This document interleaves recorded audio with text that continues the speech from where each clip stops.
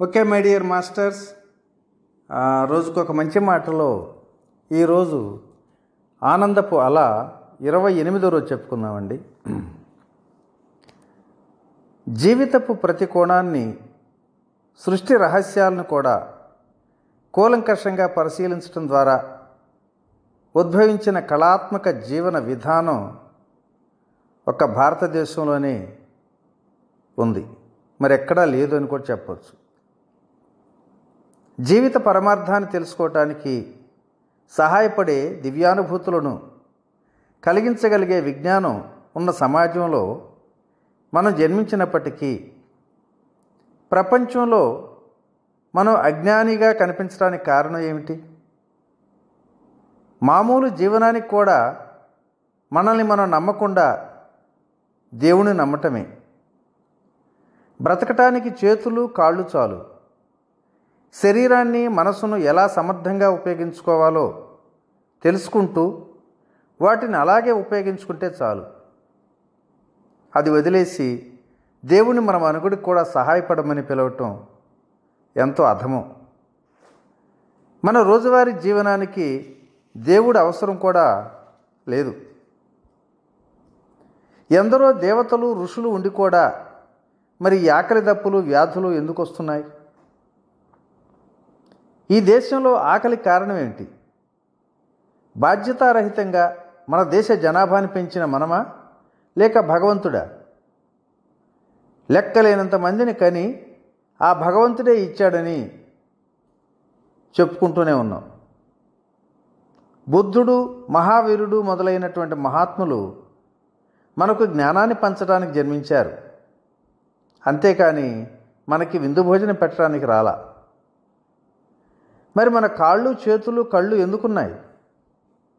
వాటిని తెలివిగా ఉపయోగించుకుంటారనే నమ్మకంతోనే ఆ భగవంతుడు మనల్ని ఈ భూమిపైకి పంపాడు. తప్పు చేస్తున్నది మనం. మన తప్పు మనమే సరిచేసుకునే వరకు ఏ భగవద్గీత బైబిల్ ఖురాన్లు మనల్ని ఏమాత్రం ఉద్ధరించు ఎన్ని మతాలు ప్రారంభించినా మనల్ని కాపాడలేవు. భగవంతుడిని పూజించి ఆకాశం వైపు చూస్తూ నడిస్తే ముందున్న మురికి గుంటలను పడిపోతాం. కాబట్టి దయచేసి మన జీవితాన్ని మన చేతుల్లోకి తీసుకోవాలి. దైవంపై నమ్మకం వేరు ఆధ్యాత్మిక వేరు మత విశ్వాసం వేరు. మొదట దీన్ని మనం అర్థం చేసుకోవాలి. మనం ఒక మతానికి సంబంధించిన వారం అంటే మనం ఫలానా నమ్మకం ఉన్నవారు అని అర్థం. యేసు చెప్పారనో కృష్ణుడు చెప్పాడనో మహమ్మద్ ప్రవక్త చెప్పాడనో వాటిని అలాగే ఎందుకు నమ్మాలి? ఆధ్యాత్మికత అనేది వేరు. అది నమ్మకాల మీద ఏర్పడింది కాదు. ఆధ్యాత్మికత అంటే అన్వేషించటం. తెలియదని ధైర్యంగా ఒప్పుకొని తెలియని దాన్ని తెలుసుకోవటానికి ప్రయత్నించటమే ఆధ్యాత్మికత. ఒక గురువు మరణశయ మీద ఉన్నారు. ఆయన వదలలేని శిష్యులు కొంతమంది ఆయన చుట్టూ గుమిగూడారు. ఆయన చూడటానికి ఒక యువకుడు వచ్చాడు. కొన్ని సంవత్సరాల క్రితం ఆయన అభిప్రాయాలను ఒప్పుకోలేక వెళ్ళిపోయిన శిష్యుడు అతను. రాగానే గురువుకు పాదాభివందనం చేశాడు. మీరు చెప్పిన సత్యాలని తెలుసుకున్నానండి. మరి అందుకే మీ దగ్గరికి వచ్చాను అన్నాడు యువకుడు. మంచిది నాయన. నా వద్ద ఉన్న కొన్ని అరుదైన రహస్యాలను కూడా నీకు చెప్పటానికే ఇప్పటివరకు వేచి ఉన్నా అన్నారా గురువు. ఆ మాటలతో మిగతా శిష్యులందరూ అదిరిపడ్డారు. ఇదేమిటి? మీ వద్ద చివరిదాకా విశ్వాసంగా ఉన్న మాకంటే ఎప్పుడో వదిలేసి వెళ్ళిన ఈ శిష్యుడే మీకు ముఖ్యమైపోయాడా? అని అడిగారు గురువుగారిని అందుకు ఆయన నవ్వుతూ మీరు నన్ను నమ్మారే కానీ మిమ్మల్ని మీరు నమ్మల. వీడు తన మీద నమ్మకంతో అన్వేషణతో వెళ్ళిపోయాడు. వీడే నా నిజమైన శిష్యుడు అన్నారు గురువుగారు. నేను చెప్పేది కూడా ఒకసారి అదేనండి దేవుడు సంతానము దేవుడు దోతో అంతెందుకు? దేవుడే వచ్చి చెప్పినా సరే దాన్ని మనం పూర్తిగా పరిశీలించకుండగా గుడ్డిగా నమ్మితే ఏమవుతుంది? మన నమ్మకాలకు పూర్తిగా వ్యతిరేకమైన నమ్మకాలున్న వ్యక్తి కనుక ఎదురు వస్తే ఇరువురి నమ్మకాలు ఢీకొంటాయి. అప్పుడప్పుడు శత్రువులు కూడా చేస్తాయి. ఎప్పుడైతే మనం అన్వేషించటం లేదో అప్పుడు ఆధ్యాత్మిక మార్గంలో పయనించే అర్హత పోగొట్టుకుంటాం. మన మతం ఇచ్చిన నమ్మకాలను ప్రశ్నించకుండా మనం నడుచుకుంటే మనల్ని ఉన్మాదులుగానే మారుస్తుంది. మన దేవుడి పేరు చెప్పి మనల్ని హింస తీవ్రవాదం వంటి వాటిలోకి తీసుకెళ్ళటం కూడా సులభం అవుతుంది. నూతన దంపతులు ఒకసారి హానీమూన్కి ఊటీకి వెళ్ళారు. వారు స్వారీ చేస్తున్న గుర్రం దారిలో ఒక చోట తడబడిపోతుంది. ఒకే ఒక ఛాన్స్ అన్నాడు భర్త గుర్రంతో. కొంతసేపటికి గుర్రం మళ్ళీ తడబడింది. ఇక కోపంతో వెంటనే తుపాకీ తీసుకొని గుర్రాన్ని కాల్చేశాడు భర్త. అది చూసి కొత్త పెళ్ళి కూతురు బిత్తరపోయింది. అమ్మో ఏంటి గుర్రాన్ని ఎందుకు కాల్చారు? భయంగా అరిచింది.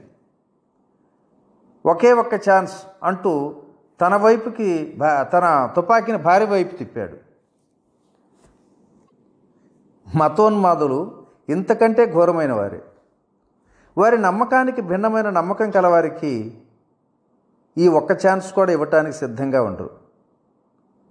ఆధ్యాత్మిక మార్గంలో పయనించేవారు అలా కాదు.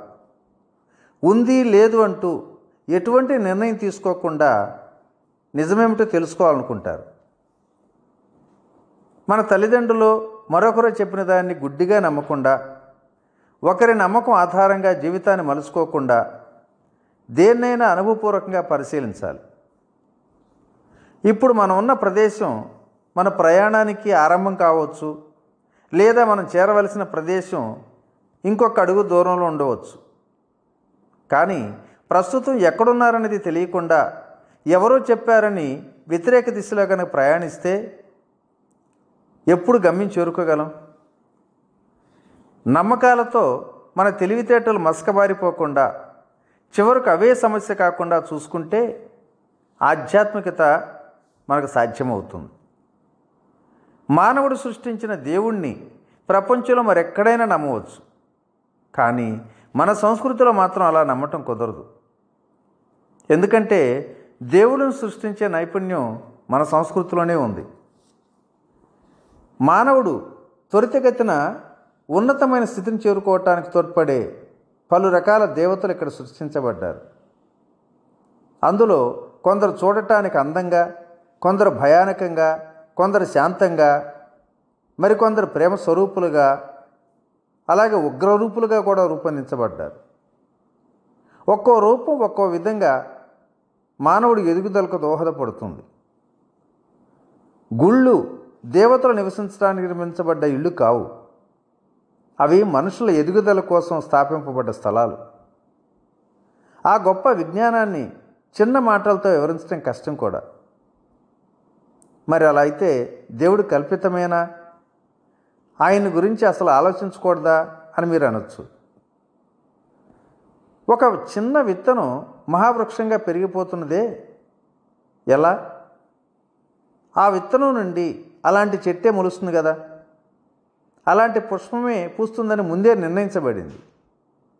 అలాగే ఈ విధిని నిర్ణయించింది ఎవరు?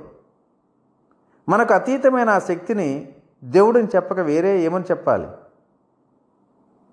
కొన్ని శతాబ్దాలకు పూర్వం మనిషి సామర్థ్యాన్ని ఉత్తేజపరిచి బయటకు తెచ్చే ఎన్నో విధానాలు మన దేశంలో ఉండేవి ఆ తర్వాత వాటికి బదులు ప్రార్థనలు పూజలు విన్నపాలు ఇలాంటివి మొత్తం పెరిగిపోతూనే ఉన్నాయి. గుడి అనే ఏర్పాటు దగ్గర గుడి అనే ఏర్పాటు దేవుడి దగ్గర మన కోరికలు సమర్పించే బొమ్మల కొలువు కాదు. ప్రార్థనలు చేసి దేవుని మెప్పించి పనులు సాధించుకోవటం కోసం కాదు. ఇవి ఒక శక్తి కేంద్రాలు. అక్కడ శక్తిని స్థాపించేందుకు ఏర్పరచబడిన రూపమే దేవుడు. ఒక సమస్య వచ్చినప్పుడు మొదట దాని దేహబలంతో జయించాలని చూస్తాం. వీలు కానప్పుడు దాన్ని ఎలా గెలవాలో అని మనస్సుతో ఆలోచిస్తాం. శరీరం మనస్సు కలిసి పనిచేసినప్పుడు మన బలం తప్పనిసరిగా పెరుగుతుంది. వీటితో మన భావావేశం కూడా చేరితే మన బలం మరింతగా పెరుగుతుంది. ఇప్పుడు వీటికి మరొక మానవాతీత శక్తిని కానీ చేర్చి ఇంకొంత బలించేస్తే ఊహించిన అద్భుతమైన ఫలితాలు కూడా సాధిస్తాం. మరి ఆ శక్తిని మనకు అందించటానికే కోవెలలు అనే ఒక శక్తి కేంద్రాలు సృష్టించబడ్డాయి. జ్ఞానులు తమ శక్తులను ఇతరులు పొందేందుకు వీలుగా ఈ గుళ్ళను నిర్మించారు. దురదృష్టవశాత్తు కొత్త తరాల వారు ఆ శక్తిని గ్రహించే సామర్థ్యాన్ని కూడా పోగొట్టుకుంటున్నారు. అయినప్పటికీ కల్మషం లేని వారు భక్తి శ్రద్ధలతో గుళ్ళకి వెళితే అది తప్పనిసరిగా పనిచేస్తుంది. ఇక ప్రారంభించిన చోటికే వచ్చాం. మొదట్లో చెప్పుకున్నాం కదా ఇంతకీ అసలు దేవుడు ఉన్నాడా లేడా? దీన్ని తెలుసుకోవాలని అందరికీ ఎంతో కుతూహలం కలుగుతుంది కదా? మంచిదే. మరి ఎవరినడి తెలుసుకుంటాం? అన్వేషణ మన దగ్గర నుండి ప్రారంభించాలి. అనంతమైన దైవం అన్ని చోట్ల అన్ని వైపులా ఉంటే అది మన లోపల కూడా ఉండి ఉండాలి కదా? ఒక రూపంగా వెతకకుండా దైవత్వం అనే దాన్ని మొదట మనలో వెతుక్కొని చూద్దాం. మన లోపల దైవాన్ని గుర్తించి అనుభూతి చెందగలిగామంటే అప్పుడు ఆ దైవం అక్కడ ఉన్నాడా ఇక్కడ ఉన్నాడా ఎక్కడ ఉన్నాడు అనేది మనకు మనమే తెలుస్తుంది. ఒక విషయాన్ని స్పష్టంగా తెలుసుకోవాలి. మన విజ్ఞతతో జీవించగలిగితే దేవుడు లేకుండానే సుఖంగానే జీవిస్తాం. మన జీవితం గురించి తెలుసుకోకుండా మూర్ఖంగా జీవించేవారమైతే పూజ గదిలో ఎన్ని దేవుడి పట్టాలు వేలాడదీసినా లాభం ఉండదు. ఓకే ఫ్రెండ్స్ మరి గత మూడు చాప్టర్లుగా ఈ దైవాన్ని గురించి దేవుని గురించి చెప్పుకుంటున్నాం. మొదటే చెప్పాను ఇవి నా వ్యక్తిగత అభిప్రాయాలుగా మీరు విశ్వసించండి. ఎవరి నమ్మకాలను వారే కాపాడుకోవటం తప్పేం లేదు. సో రేపటి నుంచి మరొక కొత్త కాన్సెప్టు భయం అనే ఆయుధం ఎలా పుట్టుకొచ్చింది అనే దాని మీద మనం చెప్పుకుందాం. Thank you. ఇట్లు మీ రామిరెడ్డి మానసరోవరం